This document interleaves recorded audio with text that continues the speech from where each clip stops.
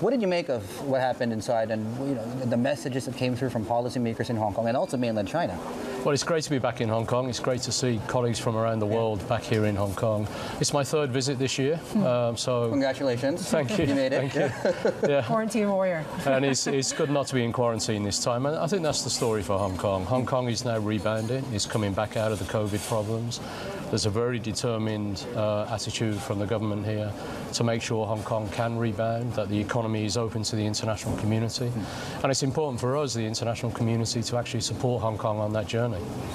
What do you think has been for you the biggest thing that you want to get away from this conference and HKMA or even the government? What is your immediate request? Well, there's some very clear policy statements this morning from the chief executive on how he and the government and mainland want Hong Kong to be an international financial centre, to remain as that.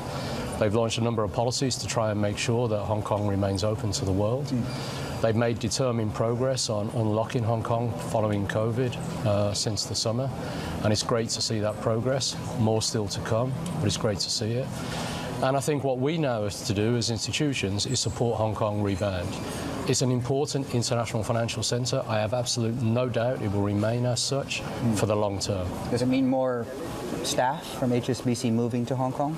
We're investing more in Asia, and that's in Hong Kong. Uh, we're continuing to grow our business. I take our trade business this year; it's up over 15% of the half year. Yep. So that's that's doing well. It was up 15% last year. We're continuing to invest in China in our wealth business in China, but I'm also investing in Singapore and India. I still see Asia as a strong platform for growth, connecting Asia to the rest of the world and the rest of the world to Asia. Do you think China just needs to adjust its COVID zero policy just quickly? I mean, it's for governments to determine their COVID policy.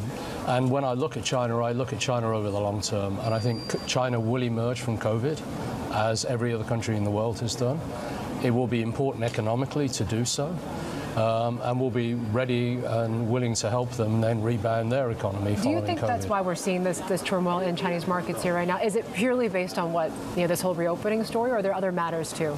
I think there are. The COVID is a big story because with with a restriction in movement into and out of China, it's very hard for the international community to reconnect with that economy.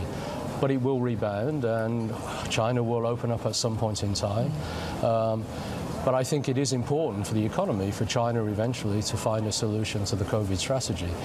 But we're still trading well in China. Yeah. Um, our trade into and out of China is up year on year, and we continue to invest in our wealth business. We've got over increased over 1,300 wealth managers in the Greater Bay Area, focused on tapping into the mass affluent wealth opportunity in China. We've continued to do that during COVID. Can you give us a number in terms of staffing and headcount? How much do you do you want to see increase uh, on that part of the We've said that we want to take our wealth managers in China to around 3,000 over the near to medium term. So we're, uh, we're over a third of the way through that. Okay. How are you managing your exposure to the property market in China? Obviously, uh, we did see your provisions yeah. uh, increase uh, here in, in your latest earnings. Do, do you foresee a big spike in, in real estate losses in China? At what point does this damage your balance sheet in any way? It's a challenged sector at the moment. Um, it's going through significant policy change. It's going through significant adjustments as a, as a sector. I'm not, go- I'm not going to understate that. We have provided well. Uh, we believe that it will take some time still before that sector stabilises. But I'm encouraged by some of the policy changes that have been introduced recently to put liquidity back into that sector domestically, um, to complete the projects that need to be completed. And I'm hoping then that will start to stabilise the sector. But I think I think it will still take some time before we can see the route out of the current challenges on China uh, commercial real estate. To, to your point, you know, the, the last two years, every time someone has called a bottom to either the market, and we're not trading, frankly, some of the growth stocks are trading like value stocks, the value stocks are trading like distressed assets. It seems that the market can't seem to find a floor, which I guess is a proxy really of overall confidence in the economy. There now seems to be some uncertainty on what this new economic team that Xi Jinping might put in place.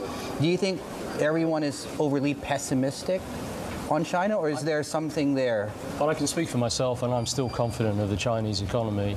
It will emerge from COVID. It will stabilise uh, following COVID, and there is strong economic growth potential in China, and that's why we continue to invest in it.